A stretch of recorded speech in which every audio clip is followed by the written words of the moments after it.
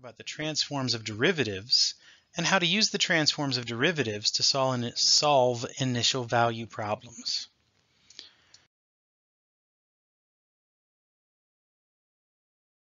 So this brings us to a theorem that deals with how to take the Laplace transform of a derivative.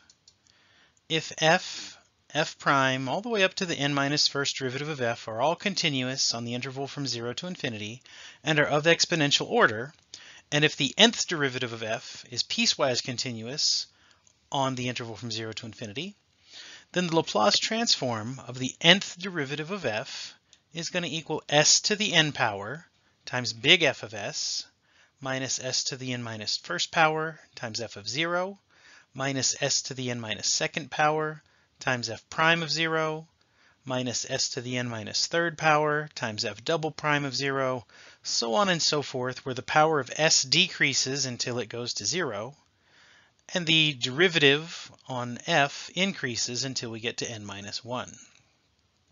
And note that in this expression, capital F of s, so big F of s, is defined to be the Laplace transform of the function f of t. Right, so some common forms when you're solving your differential equations, oftentimes you're going to see the variable y. And so if we take the Laplace transform of y of t, that'll just be big Y of s. The Laplace transform of y prime of t would be s times big Y of s minus y of 0.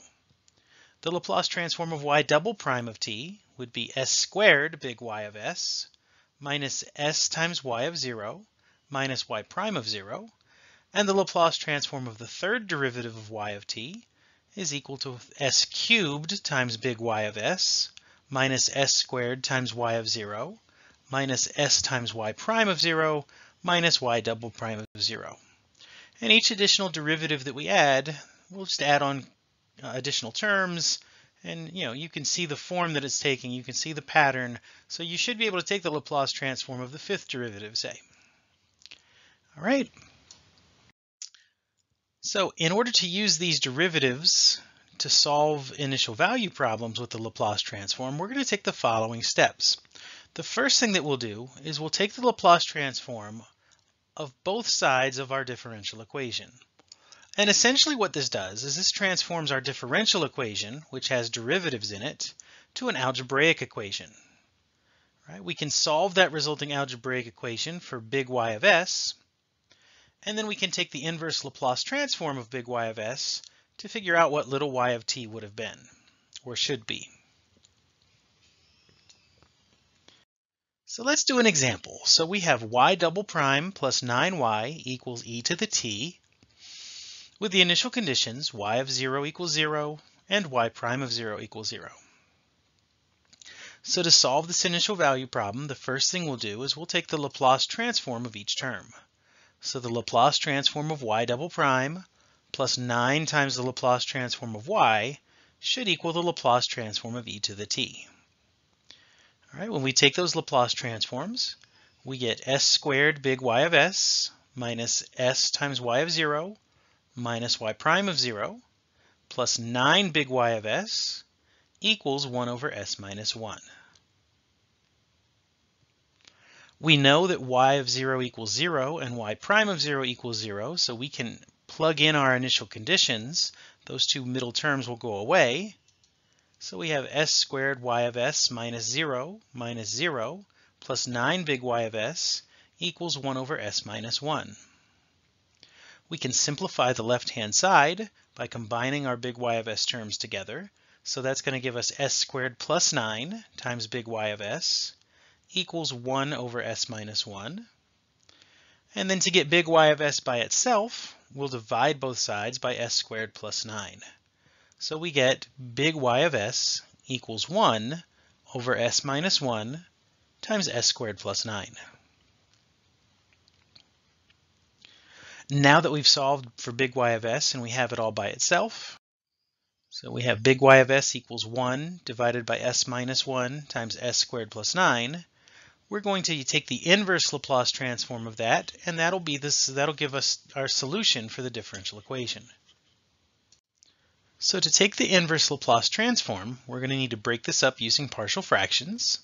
So if we have 1 over s minus 1 times s squared plus 9, We use the factors in the denominator to set up our partial fraction decomposition.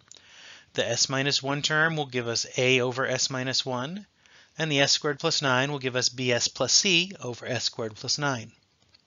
We'll multiply this whole equation by the common denominator, s minus 1 times s squared plus 9. And on the left-hand side, those will cancel out and give us 1. On the right-hand side, with the first term, the s minus 1s will cancel out, so we'll get a times s squared plus 9.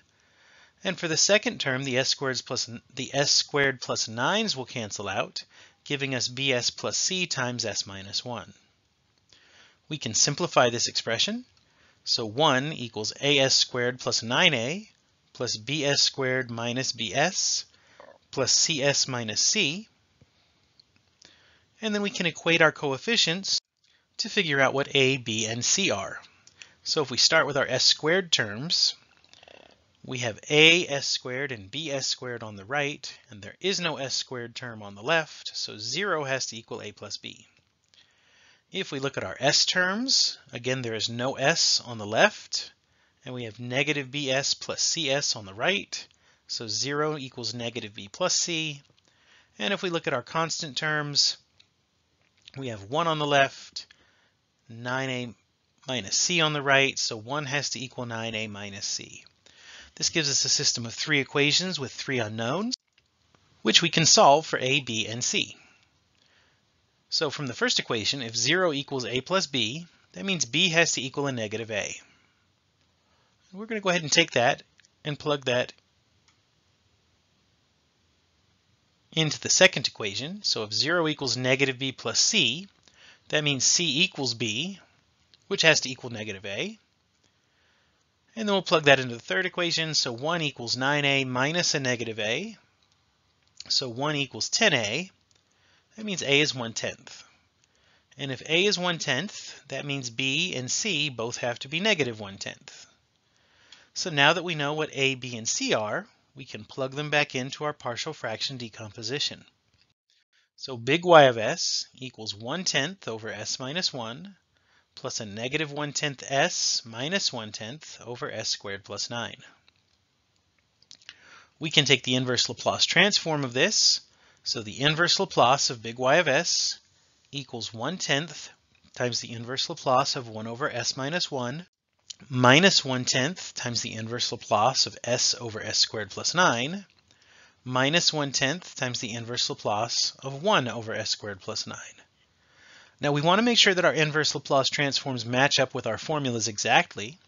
For our first two terms, they match up with their respective formulas, but for the third term, that negative 1 tenth times the inverse Laplace of 1 over s squared plus 9, we need to have a 3 in the numerator. So we'll multiply that numerator by 3, and we'll divide by 3 on the outside so we're not changing the problem. Now all three terms match up with their respective forms, so we can go ahead and take our inverse Laplace transforms. The inverse Laplace transform of big Y of s is going to give us little y of t. 1 tenth times the inverse Laplace of 1 over s minus 1 will give us 1 tenth times e to the t. Minus 1 tenth times the inverse of s over s squared plus 3 squared will give us minus 1 tenth times the cosine of 3t. And then minus 1 over 10 times 3, so that's 1 over 30, times the inverse Laplace of 3 over s squared plus 3 squared, will give us a negative 1 over 30 times the sine of 3t. So this will be the solution to our differential equation. Let's look at a second example. So this time we have y prime minus y equals 2 times the cosine of 5t with an initial condition of y of 0 equals 0. Again, we start by taking the Laplace transform of everything in our differential equation. So the Laplace transform of y prime minus the Laplace transform of y will equal the Laplace transform of 2 times the cosine of 5t. That's going to give us s times big Y of s minus y of 0 for the Laplace transform of y prime minus big Y of s for the Laplace transform of y equals 2s over s squared plus 25. We'll go ahead and apply our initial condition. So y of 0 equals 0. We'll plug that in, and that goes away. and then we'll factor out the, uh, the y of s from the other two terms. So we get big Y of s times s minus 1 equals 2s over s squared plus 25. To get big Y of s by itself, we'll divide both sides by s minus 1. And that gives us big Y of s equals 2s over s squared plus 25 times s minus 1. Now that we've found big Y of s, so now that we have it all by itself, we can take our inverse Laplace transform to find the solution to our differential equation. So we need to break this up using partial fractions. If we have 2s over s squared plus 25 times s minus 1, that's going to break up to be a over s minus 1 plus bs plus c over s squared plus 25. We'll multiply everything by the common denominator. So 2s equals a times s squared plus 25 plus bs plus c times s minus 1. So 2s equals as squared plus 25a plus bs squared plus cs minus bs minus c. We'll equate our coefficients. So if we start with our s squared terms, there's nothing on the left. We have an a plus b on the right. So 0 equals a plus b. If we look at our s terms, we have a 2 on the left and a cs minus bs on the right, so 2 has to equal a negative b plus c. And if we look at our constant terms, there's no constant on the left, there's a 25a minus c on the right, so 0 has to equal 25a minus c. So again, this gives us a system of three equations with three unknowns, which we can solve. If 0 equals a plus b, that means that b equals a negative a. If 0 equals 25a minus c, that means c equals a positive 25a. So we can plug those two things into the middle equation. So 2 equals negative b plus c. We'll plug negative a in for b to get a positive a. We'll plug 25a in for c, so we get 2 equals a plus 25a. And if we solve that, that gives us 2 equals 26a. We divide by 26 to get a equals 1 13th. If A is 1 13th, that means B is negative 1 13th, and C has to be 25 over 13. So now we know the coefficients. We know our A, our B, and our C. We can rewrite our problem. Big Y of S equals 1 13th over S minus 1 plus a negative 1 13th S over S squared plus 25 plus 25 over 13 divided by S squared plus 25. We'll take the inverse Laplace transform of everything. So the inverse Laplace of big Y of s will equal the inverse Laplace of 1 over 13 times over s minus 1 plus a negative 1 over 13 s over s squared plus 25 plus 25 over 13 over s squared plus 25. We break that up term by term, so the inverse Laplace of big Y of s will equal 1 13th times the inverse Laplace of 1 over s minus 1 minus 1 13th times the inverse Laplace of s over s squared plus 25. We're only going to pull 5 13ths out, so we get 5 13ths times the inverse Laplace, and we'll leave the other 5 in the numerator so that we can match up with our form, so 5 over s squared plus 25. Now we're ready to take our inverse Laplace transforms. So inverse Laplace of big Y of s will be little y of t, 1 13th times the inverse of 1 over s minus 1 gives us 1 13th e to the t. Minus 1 13th times the inverse Laplace of s over s squared plus 25 will give us a negative 1 13th cosine 5t. And then 5 13ths times the inverse Laplace of 5 over s squared plus 25 will give us a 5 13ths times the sine of 5t. And so that'll be the solution to our differential equation.